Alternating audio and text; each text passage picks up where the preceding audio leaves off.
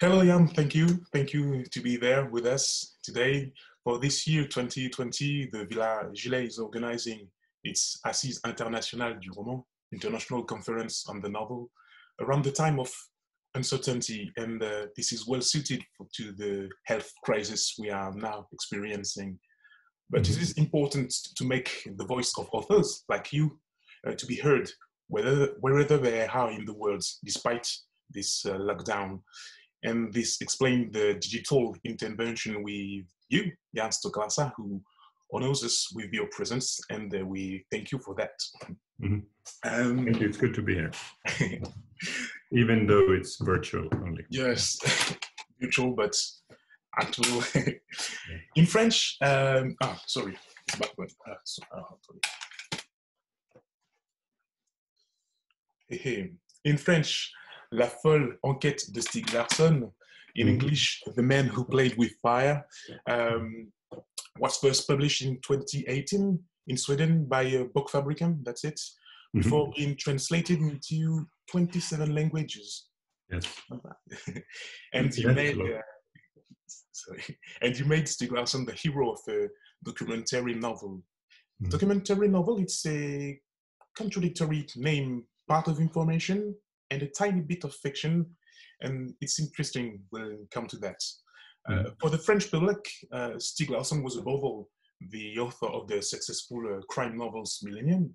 But first of all, like you, he was um, he was a, a sorry he was a, a, committed journalist with strong political convictions, and uh, therefore a large part of his work has consisted of investigating uh, the assassination of uh, Prime Minister Olof Palme on the 20th uh, of February 1986.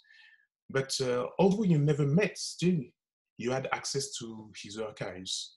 Uh, this is, by the way, um, the word that can be recognized in the in the original title, Stieg Larsson Archive, mm-hmm. archive in English. That's interesting too.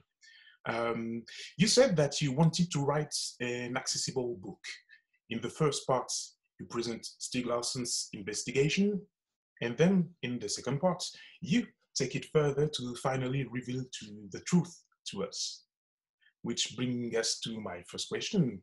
Mm-hmm. Uh, with interlocking effects, you talking about Stieg Larsson when himself is talking about Olof Palme. Mm-hmm. Is that a way to capture the reader, not in an actual trap, but in a kind of game, maze, labyrinth? Yeah, I, think what you said that I wanted to write an accessible book, and this is the way that I chose to write it. And um, I, have tried to written it as a as a as a thriller, actually, where everything is true. So when I I fictionalize a dialogue with with Stieg that I didn't meet. Um, I have always spoken to some of his friends or his partner Eva Gabrielsson, and asked questions. So the meetings that I describe are always real meetings. Uh, and I also, towards the end of the book, describe how I how I treat the material uh, and the interview, so the reader can actually judge himself if I've done it in a good way or in a in a bad way, or what liberties I took.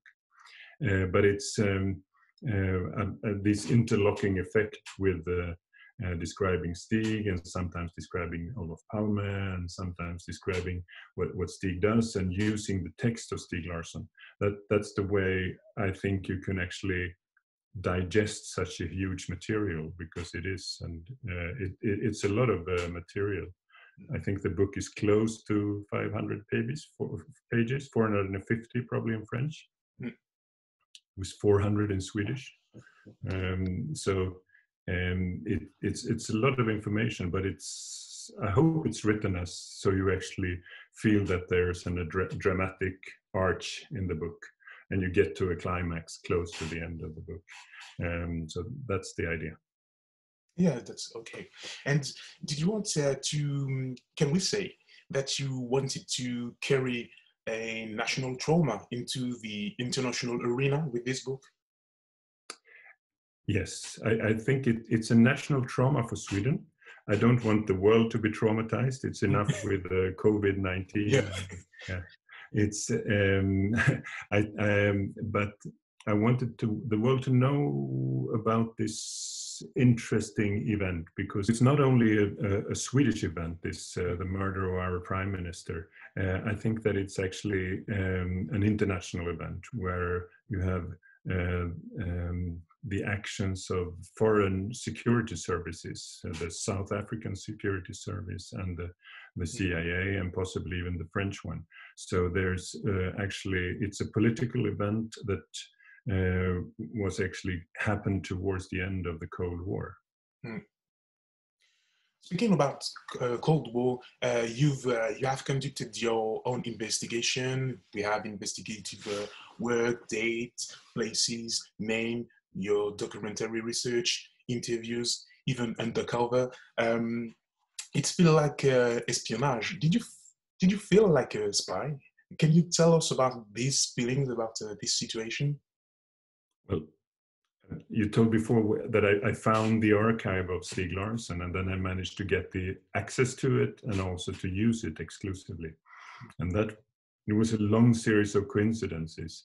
Um, and and I, I never expected to come in this situation. But when I found this material and I saw that Stieg Larsson was actually a pretty normal guy, but he did he did pretty daring things. He infiltrated the right wing movements of Sweden, and he was actually using hackers to get into emails and stuff, and then uh, also meeting quite dangerous uh, characters mm. um, in Sweden and outside Sweden. Then I decided that I have to do something similar if I want to to get to the truth. Okay. Stieg didn't have time. He died when he was 50, and I I started when I was around 50 years old to meet the people that he he would have met, uh, and so I had to step out of my comfort zone. So it was definitely I, maybe I didn't feel like a spy. I was more scared, but uh, and I got used to it, and, and it was uh, actually one of the more entertaining periods of my life. I guess so. I guess so. Um, your story is a story about uh, journalists and newspaper. You we can quote Expo, Searchlight, TT News Agency, Dagens Nyheter, Arbetet. Eh, do you want to pay homage to these professions to recall its public utility in this time of conspiracies and fake news? It's, that's an interesting question. I actually, I probably didn't think about it that in that way, but it, but it, it, it can be a serve as a reminder to the old way of journalism, where actually journalists had time to do investigative projects, because at least not in Sweden, they, they don't have the time the big titles, the big newspapers, they probably have more readers and more readership if you count the digital one, but they have much less time.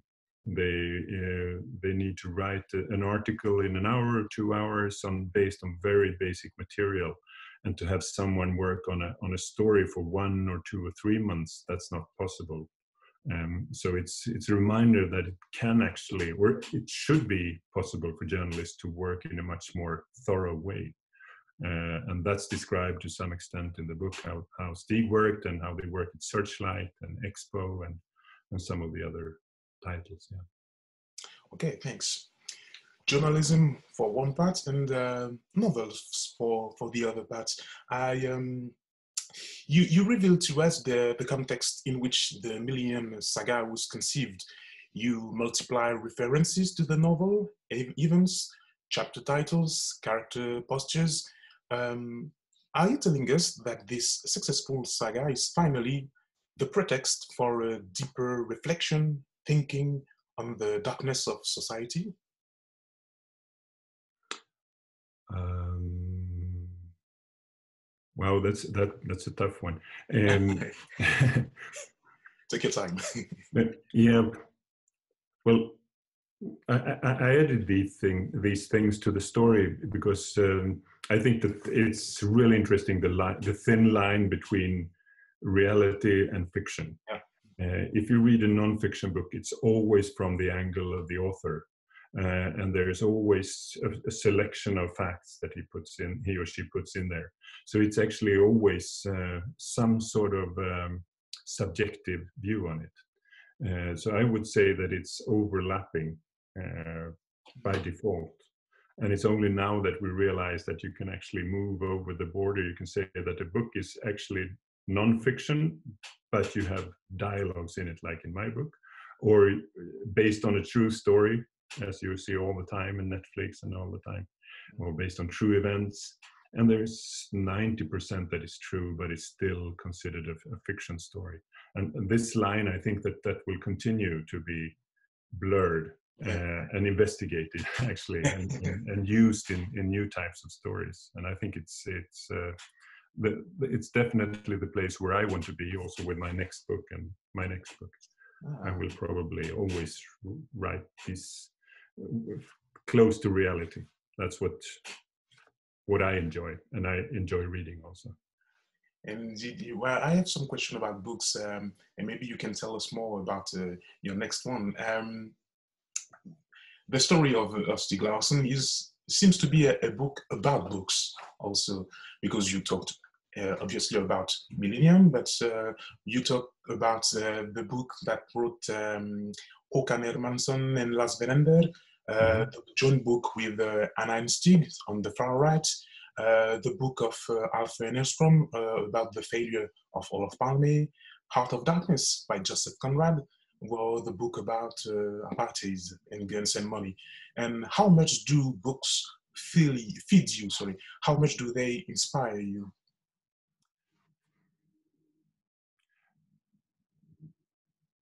I've, I've used a lot of books in this book um, uh, as as a background. Um, uh, because there's so much written about the Palme story, and that connects to what you started with. I, I wanted to write uh, an accessible book because uh, I have um, maybe maybe 70 books, maybe more. No, it must be more. I, I probably have 100, 120 books about the Palme murder.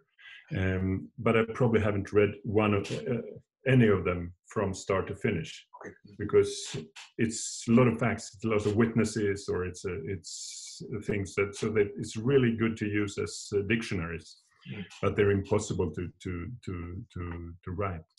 Uh, so what I uh, to to read. So I, what I've done is actually to take the information from from a lot a lot of these books and try to put it into this context also and use it together with Stieg's archives and my own thoughts. So they have been extremely important for this book. Um, and uh, but I think as anybody else, I must confess that I'm reading much too little um, uh, because it's uh, it, it's this fragmentizing with all the short messages, the short text, and that take up so much focus and time that uh, I, I, read too little. But, but at the moment, I'm in a, in, in a reading period. I'm doing a lot of research into for my next book. So now I'm I'm in the Swedish countryside. I've got a lot of time, a lot of COVID time, uh, and I can actually read read almost the full books, many books about my next subject. So that's what I'm doing. Oh. So that's inspiring. Yeah. yeah um, your chapters are short, the narration is factual, you create suspense if necessary. You talked about a thriller. Um, uh, could we say that you draw inspiration from uh, detective fiction? So we can, we can say that. Yes, definitely. Uh, from Stieg Larsson's own books, um, and he reminding what you said about the referring to other books he does that. Uh, in all his three novels he actually refers to the palme murder and he also refers to other books. He even reviews books. He puts the word of what he thinks about the books into the mouth of uh, Mikael Blomkvist. So it's it's actually he, he's using that element in his books also. Um, yeah Okay.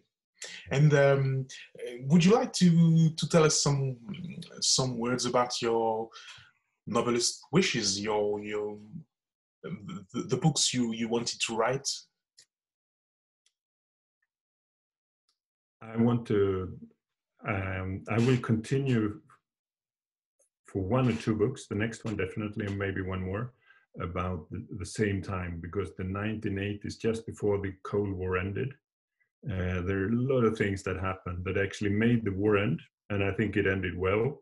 The, we we didn't get uh, Soviet Union all over Europe. Um, the murder of our prime minister uh, was one of them, uh, and there were a lot of other events happening. People that were murdered, uh, innocent people, and less innocent people, but murdered people. Um, and I'm writing. Will write about that for one or two books, and then I will write something that will be only for fun. Uh, I want to write something that is entertaining and that you can laugh about. Yeah. Some, something lighter. Yeah. I, yeah. yeah. I understand. Um, uh, by reading you, I was uh, struck by the geographic dimension of the story. You have crime scene, topography, invested travel, and how do you associate this spatial dimension to your way of telling? Yeah, well, when I started uh, investigating, doing the research, it was actually a small story when it came to people, maybe one or two characters or um, um, three at the maximum. And it was a, a Swedish story. Uh, and then I found Stieg's archive and I realized that he believed in an international conspiracy. And then it was South Africa, and it was Cyprus, the middleman in Cyprus, and it was London, and it was the US possibly. Um, so it, it came, came natural that it grew from a very individual small story to a, a much bigger conspiracy also in, in, in the space where I so I, I, I needed to travel and and um, I think it becomes interesting that it's only not in one place. There are writers that can wrote, write an interesting novel just inside a, a room, um, but this is probably not my case. I, I, uh, also, the next book will be all over the world um, because it's an international story, and and then you can use that as an element. And hopefully, I've used it well. I, I think that that the time when I meet the middleman in Cyprus, or when I go to South Africa and meet the murderers, they are some of the more tense, intense uh, chapters of the book. I think. Yeah. Thanks so much. And do you think, uh, do you agree with with the, the idea that the place has an influence on the on the attitude and the on the scenes and on the on the on the, the people? Uh, so, uh, they, uh, that they haven't. Oh, you mean uh, where I started the story uh, with the influence of the place? Yeah. Yeah. For instance, yeah. Because I'm, I'm not yeah I'm, I'm very impressed by how much you know about the book actually. I can see that you have read it in uh, in detail. Thank you. Um, but but the, the the start of it was actually only three kilometers from here. In 2008 when I wanted to write, write my, start writing a book uh, my second book then uh, and, um, and there was they found a lady killed here just three kilometers from my house where I'm now um, and when I Googled that place um, uh, where she was found, I, I, realized that there was another murder, hmm. but 170 years earlier in the same farm, um, which made me think that if there's one murder, one place where there have been double murders, that there must be more. And I found a few other places, and one of them actually led me to a person who was a suspect in the murder of Olof Palme which led me to the archive of Stieg Larsson. Um, so, so the places led me into this story, but I, I have a strong belief that where we are and where we grow up and where we spend time has a strong influence on us, stronger than we realize, and and that's why it's important to to spend time in places where you you feel harmony and you can actually become creative and and actually work in a good way. So yeah. So I think they have a, an extremely strong influence on you. Okay. Speaking about people, um, you you give you gave us um, uh, many documents in your book, pictures, maps, letters, and they are more than than just evidence. Um, do they look like uh, clues to the reader to be involved to participate in this uh, investigative work? Yeah, I, I think it's my idea that the reader should gradually realize where the story is going, of course, but also be be something of a, an armchair detective, reading the diff, the background material and and see what Stieg was seeing at the moment and what I saw when I read read, read his documents also. Uh, and then you see, for instance, that in, in, a letter only 20 days after the murder happened, I think it's seven pages long, and Stieg writes about the possibility that there were South African weapon dealings behind the murder of our prime minister. And that's only less than three weeks after the murder. And that's something that hasn't really been investigated by the police. And hopefully, that's uh, actually what is happening very soon because the police has said that they will present the solution uh, within two months' time. Um, and I think that they have done so. And hopefully it's because of Stieg work and maybe to some extent my work also. Okay, thanks. Um, we have a few minutes left. Um, I'd like you to come back to a key moment for you in this investigation, a, a moment, a passage that is dear to your heart or that you are proud of. Uh, can you tell us about about it? Uh, I, I should choose one. Yeah. well, well, because I, I stepped out of my comfort zone, as I said, uh, when I started meeting these people that are are dangerous or at least have been very dangerous. Uh, but I think that the brave person in this is actually the, the Czech woman that I met, uh, mm. Lida Komarková. Yeah. And I think that the most intense time and event was actually when I asked her to meet uh, the person that I still think is heavily involved in the killing of our prime minister. Um, and she records, she meets with him for six days and records everything and actually gather things that can be used in a, in a possible prosecution. Um, and she was the brave person because she met him, with him in his apartment and spent a lot of time with him and, and filming and recording everything. And I think that that's that's the thing that I'm I'm proud of, mm-hmm. and also think is the most uh, intense in the book. I think it's working because I, I felt the same. I felt, uh, I felt uh, afraid for her, and uh, I think it's working. Yes. Okay. So, well done. Yeah. Okay. Um, I have two more questions, and uh, we'll uh, we'll we'll have to end the the, this interview. Um, there was a screen adaptation in uh, 2018 of by uh, Henrik Georgsson. Uh, what mm. do mm-hmm. you think about it? Um, yeah, I, I, was the executive producer, and it, it, it was also built to some extent on my material. Um, and it was it tells uh, a good story about Stieg Larsson as as a person. Um, uh, I've so I think it's it's a, it's a it's a pretty okay documentary, but I think it should have been um, focusing more on on the more exciting parts of his work because Stieg Larsson is not actually. Um, I, I, think they should have put more emphasis on the the Palme murder uh, actually. So that's that's um, uh, that's actually where it started the project project and in the end but it, it sometimes you have to leave your babies for someone else to to to deal to and henrik this is what he did with it and and, and i think it's a it's a fair job yeah. To leave the baby isn't that too difficult? Sorry? Uh, to leave the baby isn't that isn't uh, that too difficult to do? Yeah yeah it is uh, but i realize also that my um, and for me it's much better to write books because i can i can control the whole chain uh, of material and what i what i want to tell. And it, it's so so i think it's actually a great uh, profession in that sense because you you're it's only up to you. If it's if you write a bad book then uh, it's your fault. If you write a good book it's only your uh, because of you. Um, and and this time i managed to to write a book that is been sold in more than 300,000 copies and in 27 languages. So uh, um, um, it's been an, an, an, incredible journey for me actually to, to, to do this. So I will be writing books and uh, the films I hope uh, other, other people will make.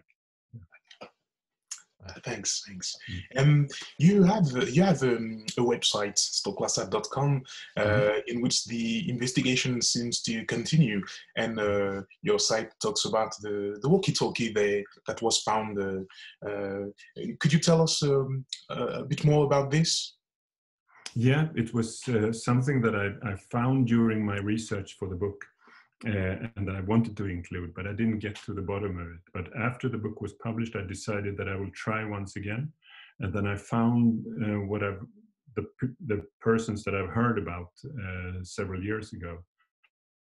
Boys uh, at the time that one or two days after the murder of our prime minister, actually um, along the escape route of the murderer, um, they were out walking and they found a walkie-talkie hidden in the snow um, and uh, they picked it up and they were young guys so they were saying maybe it's got to do with the murder of our prime minister but maybe not. The police probably would have found it. So they instead they instead of give, handing it in to the police they handed they gave it to a young boy.